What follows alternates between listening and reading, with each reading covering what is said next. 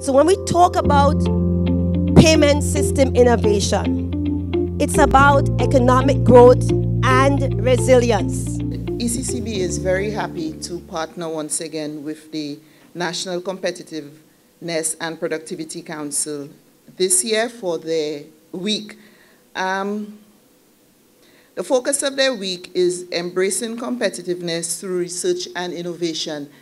And I am particularly proud to be a employee of the central bank because, you know, when you hear central banks, you think of an institution that's far removed from what is happening on the ground and what is happening in country. But my central bank, our central bank, is in the forefront of competitiveness and innovation. We were the first bank, we are the first bank in the Caribbean to come out with a full suite of polymer notes. We did that, we launched that earlier this year. And I think that was just amazing for a little bank. Eight countries, the smallest in the Caribbean, and we were able to, to come out with a full suite of polymer notes new notes for our people in, in the ECCU. And in addition to it being a full suite of notes, we are the only ones with a feature for the blind and visually impaired. And if that's not innovative, I don't know what is. and um, think we stopped there? No, we went on.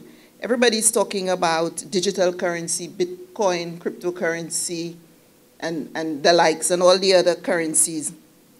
And we, through our governor, looked at it and said, how can we use that to make the lives of our citizens better? And, they, and he came up with the idea of a digital EC dollar. So you have the EC dollar that is backed, well backed, and now you have it in another format which will open up so many avenues for the people of the ECCU. And um, Sybil is here today to tell us about, to tell us about um, the, this digital currency. Sybil has worked on, on, Sybil is part of the, the project team at ECCB that's making this happen. And so I am very pleased that the governor was in full agreement to having Sybil come in person to do this presentation for us. The World Economic Forum opines that over the next decade, 70% of all value created will be based on the digital economy. And hence, the ECCB's venture into a digital EC currency is to ensure that we in this eight member state are present in our future. It's about ensuring that we are transforming our economies in a manner that allows us not to be behind the curve, but to be with and even ahead of the curve. So here we are today talking about DXCD, the Eastern Caribbean Central Bank's digital EC currency pilot project. The project has been captioned the name DXCD Caribe, taking into consideration both our digital trajectory as we move forward, as well as our Caribbean essence.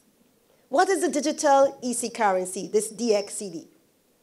Many persons, the first thing you want to know about your money is security, right? So it is a secure it's very accessible. Accessible whether you have a bank account or not. It's innovative. It's leveraging technology. And it's providing what other alternative electronic payments cannot provide, which is real-time settlement. The only other payment instrument that provides real-time settlement is cash. But we know cash is sometimes cumbersome. You have to have storage. You have to think about the security of it when you're moving around with it. It is costly to move around.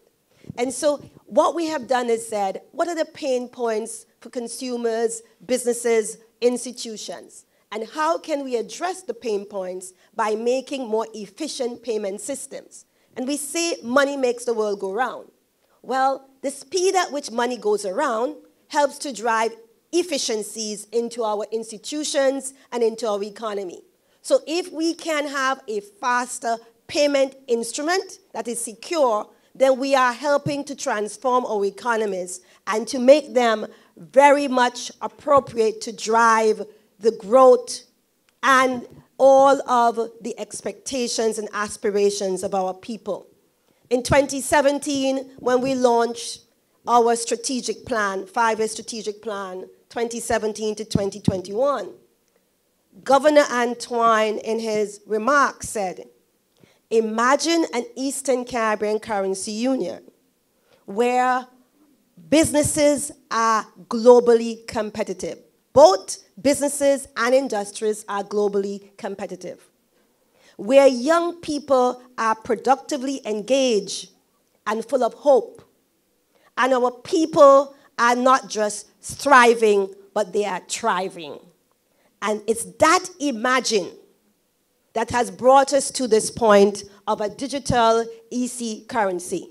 Now, I want to start off to let you know what it is not. Told you what it is. Let's make sure you clearly distinguish between the EC's digital currency, DXCD, that is in development, and what has been out for the last 10 plus years, Bitcoin and other cryptocurrencies. There's a big difference. A cryptocurrency is a private issued currency. There is no guarantor. You get in, and you are supposed to ensure you understand the risk. If something goes south, there is nobody to call. So it is get in, understand what you're getting into. And so there goes the difference between this digital EC currency, DXCD in development, and cryptocurrencies. The issue of trust. The issue of where is the back? Where is the guarantee? With your EC currency, whether it's physical or digital, you know who the guarantor is, right? The guarantor is the issuer, ECCB. And what makes you confident in that guarantee is that we have foreign reserves. Those are investments made mainly in US denominated securities that ensures that you can freely move between EC and US currency. So that is why you don't have exchange rates um, restrictions. Okay? You don't have exchange, not exchange rate, but exchange restrictions. You can go to the financial institution and you can get your US currency. Once you provide all of the know your customer source of income information if it's once it exceeds a certain amount. And so it's that issue of trust in the EC currency which gives confidence to our currency, whether it's digital or physical. In a cryptocurrency, no one has that liability or that guarantee. And that is a distinction. So when you're talking about digital currencies, understand that a sovereign currency from a central bank is completely distinct from a private currency, whether it's in digital form or not, issued by a private entity. We're clear? We're good so far? So, what are these features? Because if it's digital, it means it's not physically tangible, right? You can't feel it, you can't touch it. It is not like your paper, your polymer. But what it does have is the, the, the characteristics that give you, gives you that confidence in our currency. It is sovereign, it's legal tender, it has the same parity with the US dollar. We say 2.7 of fixed exchange rate for your physical EC notes and coins. In the same way, your digital EC, DXCD, it's 2.7. And both of them are interchangeable with each other, interoperable. So one digital currency equals one XCD, physical EC coins and notes. It's, we spoke about who is the backstop, who is the guarantor. It's ECCB. But we are not, our intention is not to get rid of cash. No, we want to reduce cash to a point at which we have an optimal level of cash. But it will continue to co circulate with physical EC notes and coins, with other payment instruments like your debit cards and your credit cards. We're hoping, however, that we'll reduce the use of checks and we'll reduce the use of physical notes and coins. Our objective is to get cash down by 50% and to reduce significantly the use of checks. They're costly. The whole idea of reconciliation and chasing bad checks takes up resources that could be put to more productive use as opposed to transactional use. It will be distributed by our financial institutions, our banks, our credit unions, and other approved service providers. And because it's digital, it's going to be transacted on a platform that you and I are accustomed to. That is your smart device, be it your tablet, your cell phone, or other smart devices that we use to communicate with. When we look at the region, the region's penetration of cell phones is almost 200%.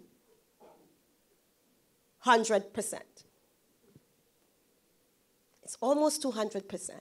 What we have to then change how we use the phone, not just for talk, but to use it for more productive means. And here lies where we can leverage a digital EC currency to achieve that. It is not a savings instrument. So once you take off X amount from your bank to move into a digital currency, it no longer um, leverages interest. So you're only taking off that amount that you need for transaction purposes. And that allows for planning and for the stability of the financial system and for your own wealth creation. So we don't want this to be a competition between bank deposits, but what we want to allow is persons would save what they need to save and move to a transactional platform, leveraging the DXCD to make their payments more efficiently, more effectively, in a frictionless environment. And so when we talk about frictions, we're talking about cost, right? You and I know it costs a lot for a checkbook. It costs a lot to merchants to have a card infrastructure. Some persons may have to pay 3.5% or more. If you're in a business where your margins are slim, that 3.5 can eat into your bottom line and make it really a disincentive for you to allow those card payments. Because remember, you also have to pay for the machinery as well. So we have to pay Visa, MasterCard, Amex, all of these persons. That's money going through the window, which is not being used for productive means. So we have to change how we see productivity, that we need to maximize how our money gets back to us. And that's part of building growth, competitiveness, and resilience into our financial infrastructure and architecture. It's a peer to peer architecture. Peer to peer, you to me, which means as we speak about bringing the region closer together, regional integration, we say we have a single financial and economic space. And the sea that divides us should not be an impediment for us to move as if we are one solid, productive block. If we are sending money to another person in another country, regardless if it's the same financial institution or not, there should be no reason why, if I'm to send $200 to St. Lucia, I'm going to pay 50 something dollars to send it. right away that creates barriers to integration. And those barriers really impede our growth and development because it impedes what can be, as our governor says, and what should be. It impedes the possibility of new business formation, of new business creation, of business expansion, of payment efficiency. So that when I, as a small business, gets paid, it should not take me three or four days to get funds into my resources. Because then what I have to do then is maybe take an overdraft until those funds come. So my cost of operating actually erodes my potential to survive in that industry. And so when I go belly up, then all the creditors now end up with a non performing loan. You see, it's an ecosystem, a, a, a, vicious cycle if we don't make it more efficient and more workable for us. In our mission, we said advancing the good of the people of the Eastern Caribbean Currency Union by ensuring stability at both at the monetary level and the financial level, but also advancing development and growth. And for development and growth to happen, there has to be a transformation. It can't be business as usual because for growth to happen, you must advance. There must be something that changes. And more than just change around the edges, for growth to happen, you must have transformation. So, why a digital EC currency matters? It matters for everyone, whether it's the ECCB, whether it's the financial institutions, whether it's businesses, or whether it's consumers, it matters. Because what you have in a digital currency is information, economic intelligence, business intelligence. And if ECCB has better intelligence in real time, its policies can then be more prescriptive because it has real time information. So it knows how money is moving in real time to various sectors. It can analyze and really assess what's going on in the economy in real time. You know, sometimes you see us put out statistics because we have to liaise with the, the, the statisticians on the ground in the offices of the government ministries. You will see a lot of times we have estimates because the data is not available. Now, the whole idea of data management and data analytics is that you get information that allows you to make informed decisions. And that goes for all of us. You know, you, you have your, your, your financial information in your head, you go to the bank, you say, I need this, I can afford this, and they ask you for financial statements. And you know you don't have financial statements. But if you can pull the information from your digital transactions. You can then show the bank cash coming in and some cash going out. And that allows you also for your own planning. You don't have to say, I had X amount of money. I wonder what I spent it on. And the small business operator won't have to be looking around their shoulder every time someone gives them money for goods and services and they pull out a big wad of money and they feel uncomfortable wondering, can I potentially be a target because I've exposed all my business?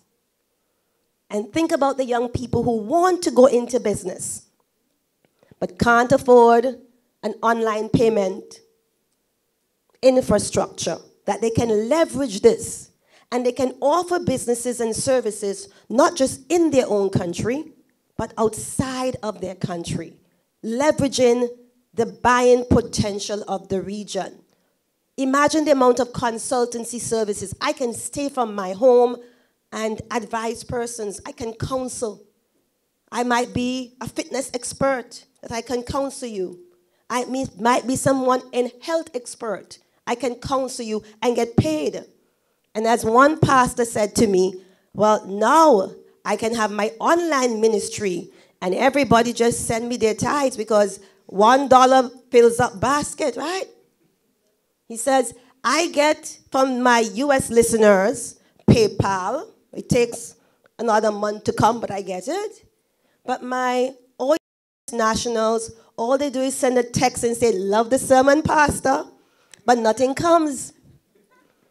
Okay? And so we have to expand our thinking of what is possible. And as our governor says, what could be and what should be. So, new payment channels, new business models, reduction in cost. Um, if I could just pull this up for businesses, operational inefficiencies. How much time we spend if you're a big business trying to tally for your sales clerks and you're out $20, you're out $100, and you spend all night chasing this outage. And then you pay $300 in overtime to find $100. How much time businesses have to be dealing with paper records and the storage of these records when if we had some other alternative which is secure which gives us the efficiencies that this will facilitate that. And in doing business, invariably, when you're dealing with cash, money goes through the door. It walks away, it has legs. Whether because of mistakes or because someone wants to increase their pay in an unauthorized manner. With a digital architecture, this can't happen. And while someone might say, well, we have infrastructure right now, the cost is prohibitive. So being able to access something has a lot to do with can I afford it? In order to say it's accessible. In doing this architecture, governance for any sovereign currency, governance is critical one wants to make sure that the profile of the EC currency that we have trusted since 1965 remains intact. And so, governance issues covering regulatory compliance, ability to monitor, the process integrity, the legality, the data analysis, all of these are embedded in the architecture of the EC currency the digital EC currency, DXCD. So users will be able to leverage all of the features of security, legal tender, confidentiality, which speaks to having privacy and trust, payment efficiency, innovation, and governance. And also, it's important to talk about the user experience. You and I want to use technology that is easy to use, seamless to use. That when we're using it, we don't have to think about it. Just like how you log on to your Amazon app and you shop till you drop, which you shouldn't. But sometimes we do because what Amazon does, it uses that data analytics. You ever realize every time you go, it has a new suggestion based on your patterns? Even if you just say a word, it looks like the phone is listening to you. It is. Gives you recommendations to a conversation you may have had. That's the business intelligence. Imagine if businesses can leverage that data analytics instead of sending a generic ad to everybody. The other day I got office furniture from a business. I don't need office furniture. But the things I need, based on my shopping patterns, they're not able to tell me those. But a digital currency can provide that information in a cost effective manner. So, what does this framework look like? Who are the components of the ecosystem? Well, ECCB is at the topmost, the certificate authority. It's a sovereign currency. We are the only authorized institution to issue EC, the same as the only authorized to issue digital currency, which is a DXCD. So we, as a central bank, will authorize other participants, financial institutions and other institutions approved to facilitate the circulation of the currency at the first level. And then these institutions, financial institutions and, and agencies, will then authorize or onboard consumers and merchants. And so what you have is a sort of tree sort of architecture that branches out, allowing to ensure governance, security, and convenience. Every time we talk about the digital economy, one has to talk about cybersecurity. That is important because you want to make sure that the architecture is trusted. Now, unlike Bitcoin and other cryptocurrencies, when you hear about um, blockchain technology, all blockchain is not the same. You can have one that is permissioned, private, or you can have one that is public. Bitcoin is a public, and so everyone goes on, everyone can facilitate mining, which produces more Bitcoins, and everyone can have a view of the ledger to get a sense of who are the persons on there. There's no privacy there. You may not know the exact name of the person who is at that address, but you can see what's going on. But you don't want that for a sovereign currency where confidentiality, trust, and security and privacy are paramount in the minds of users. And so this architecture is private and permissioned. Permission meaning you only can be part of this ecosystem if you are granted access. And the access to one person is not the same access to another person. You get the credentials for the level of access you are granted. So, of course, as a consumer, I would have a different level of access to a financial institution, to a merchant, to other ecosystem players. And that allows for that confidentiality and that security. And that's important. So you recognize that you have secured credentials management and you have encryption of all information, end to end, from the source to the destination and at rest. And only those, and everybody understand encryption, right? You encrypt something, it means, remember when we were small, we would be telling stories and we'd make up a language? And only those who are in the group would understand that language? That's encryption. So we say, I don't know what that means, but somebody in that group, sometimes you would use the first two letters of the word and the last two letters, and you create something. We used to call it pig Latin or something. Y'all didn't have any? Oh, well, you, Creole, okay. But no, Creole is not a Creole is not an encrypted language because it's a language that is understood by, by, by many. Okay, and I don't speak Creole, but because of the French, I can understand if I break it down slowly. So that's the issue of encryption. It means that even if someone gets access, they can't understand the information. You, you, you see enough of those um, spy movies, right, with Tom Cruise? Okay, but that's the importance of that. That is to ensure privacy and security. Um, the, the issue of you have to be authorized, the issue of authentication, and the issue of making sure you have multi factor authentication, meaning it's not just one thing that someone is going to ask you. The system is going to ask you to verify you are who you are. You have multiple, several things that you have to do to prove that you are who you say you are before you're granted access. And that is important for that. We spoke about the issue of authorized, permissioned um, entities and employees. And just to give you a little idea about how this blockchain works. Why is it called block and chain?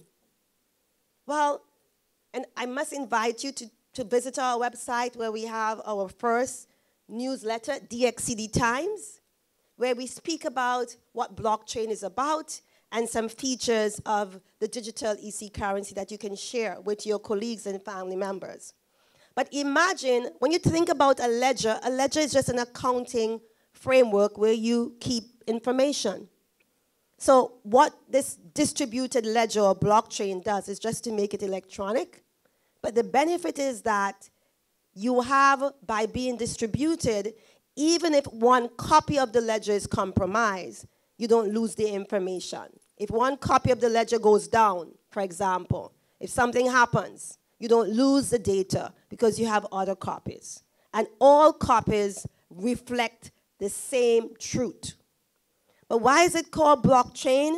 Because the information, the data, is aggregated into a block, and each subsequent grouping of data is linked to the one that went before it previously, creating a chain.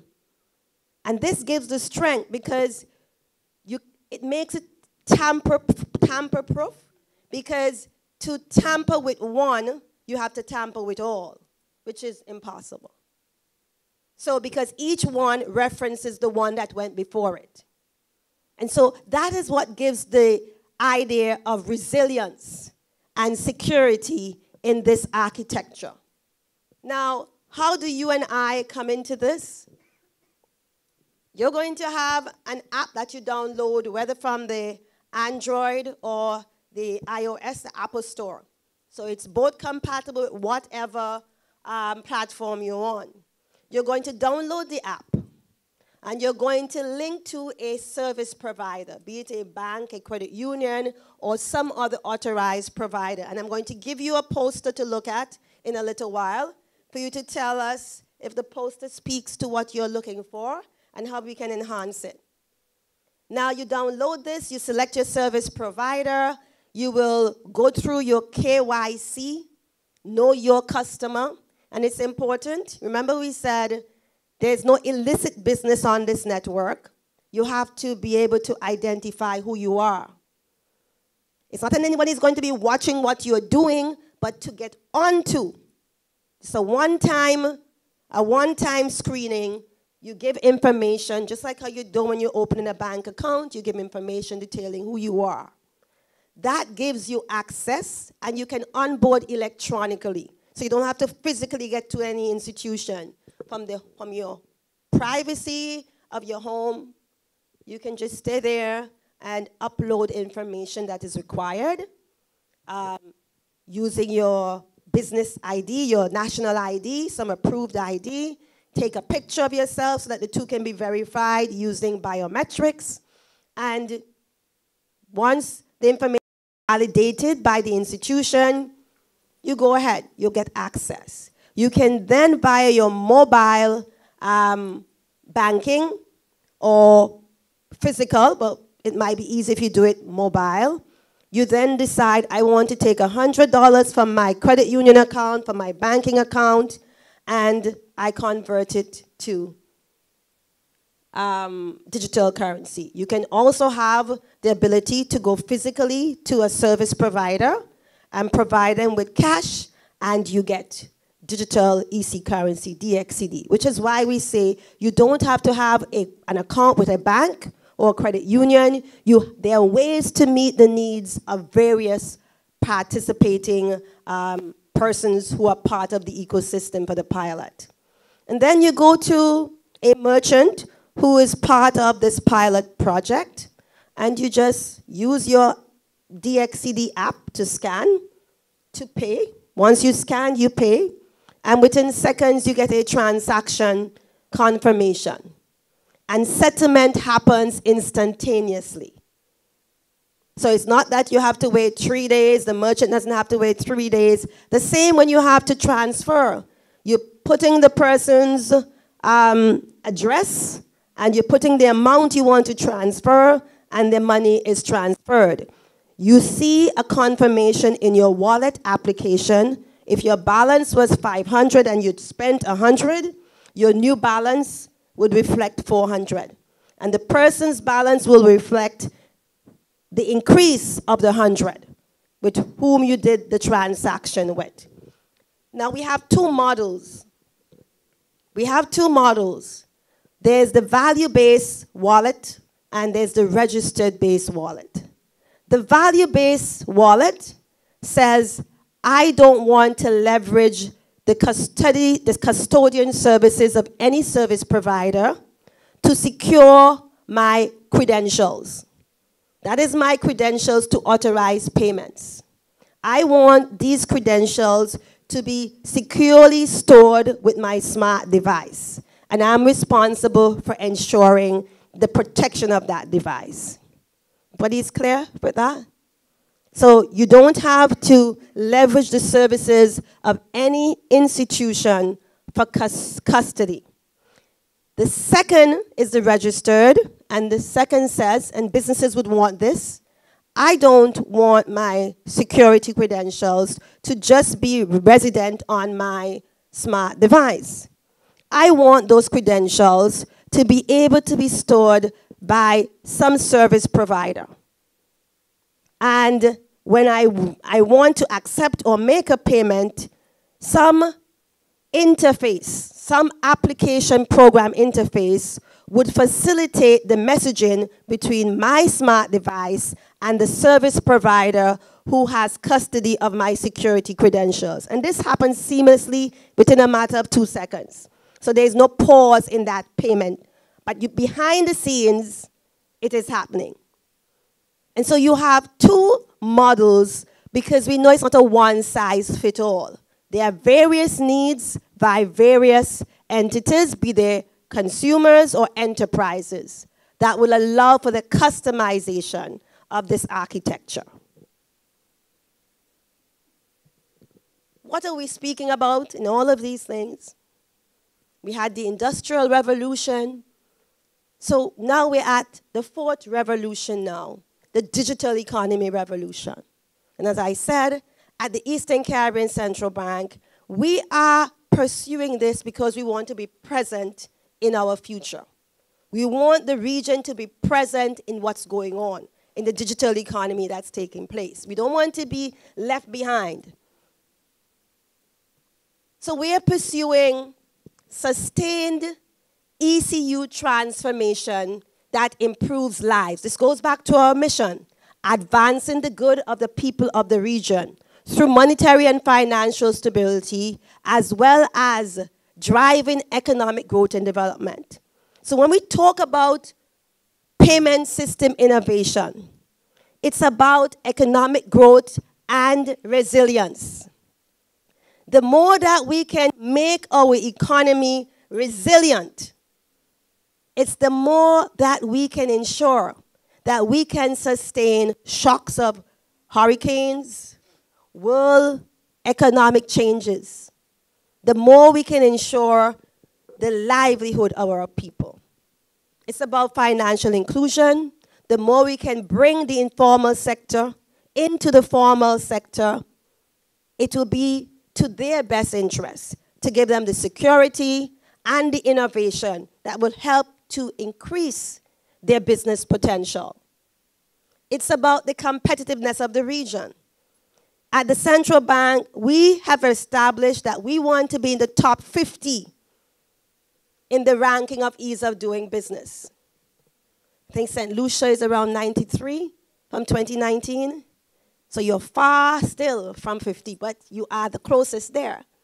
Because at the, the other spectrum, we have St. Kitts at 140, Grenada 147, somewhere around there.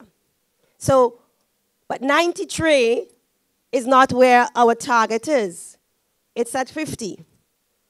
And part of the ease of doing business is what is the architecture for persons to transact in businesses, to get access to credit, to open a business. And it's the digital economy that will allow for this transformation. And so the digital EC currency, the DXCD, is part of this entire framework and vision of an ECCU digital economy. In his book, Flawless Execution, the author says if you're going after a particular goal, everyone must understand what success looks like. So for us, everyone, residents, citizens, businesses, governments, all sectors must know what is the success benchmarks. Where do we see the region's payment architecture five years after mass deployment of DXCD? We see cash being reduced by 50%. That is the goal. Not away from cash, but allowing cash to be reduced by 50%, which is optimal. Right now, cash takes up about 80 to 90% of all transactions and about 44% of all value. That is a lot of transactions in terms of inefficiencies, in terms of cost. That is weighing down the productivity potential of the region. We need to reduce it by 50%. Checks.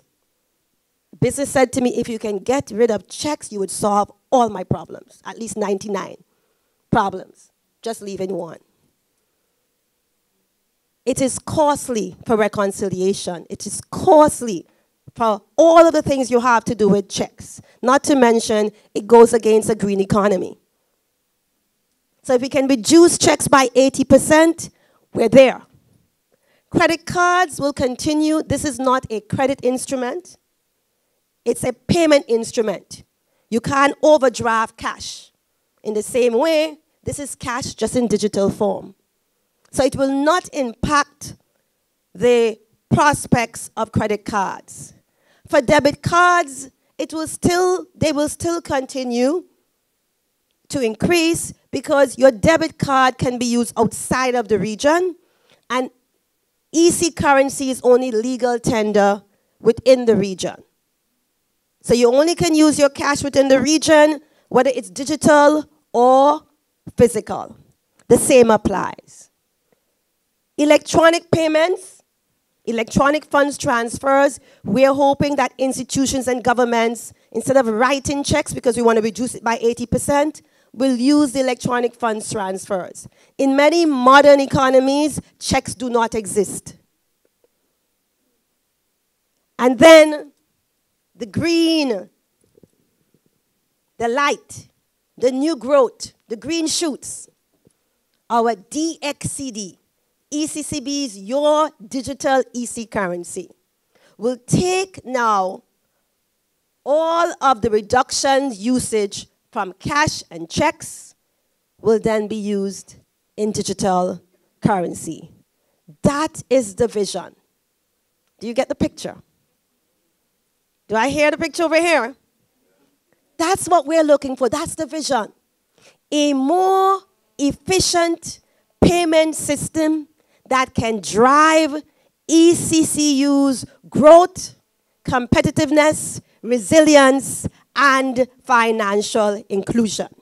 As I close, just want you to get, well, we spoke about this, how you do the process, really in four simple steps. You download the digital wallet application from whether it's the Apple Store or the Android Store. You select a participating financial institution or service provider to gain access to the network. That means you have to go through your know your customer. And then you just request cash either from converting some of your deposits to digital currency. You're going to get a poster to comment on. Or you can use physical cash, EC notes, um, to, to make that um, cash in, cash out. You make your payment. Once you scan, the payment is made, instant payment settlement, and then almost instant confirmation of your transaction. It's really about secure, simple, accessible, innovative payment instrument. So merchants will be able to use the app to do your point of sale. You would be able to have only small requirements. A tablet, a smartphone can work. You can create your digital QR code, which is just a code that you scan, or you can actually have it paper based, where you just stick it to the wall of your truck if you're or your store, and the person just scans it with their app on their phone. And so it allows you to either be fully electronic or not in terms of what hardware that you want to leverage with this. And it has a teller feature where for those merchants who are part of the pilot arrangement, and based on what ECCB's policy is, it could allow merchants to also provide cash in and cash out facilities. This is on the discussion of how we would pursue this within the issue of security and confidence in the currency. Um, I just want to let you know where we are at. We're now seven months into the project. 12 months is for development, and six months is for actual live testing of the digital currency, where customers will onboard, they will convert their deposits to digital currency, that portion they want to spend during the pilot, or they will cash in physical EC notes and coins for that, and then they will then spend. Of course, during the six months, all who sign up to be the pilot and are given access will have incentives. Like any promotion, any pilot, we want to make sure everyone is involved. Everyone has the ability to access this, to spend it, and to benefit from that experience. Because while you're benefiting from that experience, we are learning your patterns, your behaviors, what you like, what you don't like. And so, of course, we're going to incentivize. Can't tell you what that would look like, but I promise to you that you will enjoy the incentives. That I can guarantee. So, as we conclude, what do we want you to leave with? That the vision is for the digital EC currency to be part of a new digital economy for the region, to move the region into a modern economy. Many times we think the Caribbean has to be last. Forget that. We are smart enough, we are innovative enough to lead our own trajectory towards competitiveness, growth, and inclusion. Holders of this digital EC currency, DXCD, will enjoy the same benefits that they have when they're holding physical EC notes and coins. They can use it with vendors on the street, they can use it with brick and mortar stores, they can use it online. And as security is paramount in our architecture design, we want to let you know that the security is based on best practices built in to the architecture. So, we're at this juncture where we recognize that our growth needs to be at a minimum of 5%, and none of our region's economies have reached 5%. And 5% is just the minimum. But we also recognize we're at a watershed moment where we need a transformation to get us to that and beyond that 5% growth. We recognize we need our governments, the debt to GDP should be 60% minimum. 60%. That should be the maximum of your debt to GDP, not minimum, maximum. Your debt to GDP maximum should be 60%. It's now around 68% on average across the region. Only one country, St. Kitts and Nevis, reached that 60% to date. On the regional level, it's around 68%, which is good because a few years before, I think around mm, 2014, it was about 78.2%. It's now about 68.1, give or take a little basis points. Um, and so we are moving in the right direction, but we recognize that it just takes a hurricane or something else. If we're not having a new economic paradigm for us to slip again. Because guess what? We are in all cyclical industries. What does that mean? It means cyclical industries require persons to have surplus income. So given that we are open economies and we trade and we depend on persons having a lot of surplus income to drive our tourism and manufacturing exports and other businesses, that now we can then leverage those into jobs through construction, real estate, services. If we do not have a new paradigm to drive that resilience, it means as the economies keep going up and down, so will ours. But with technology, you can create what you call a defensive economy. So you mix both your cyclical service and industries and your defensive industries, and a lot of those are in technology. And so we're looking for this transformation to drive our region's resilience and competitiveness. It needs transformation. We're on board. Are you?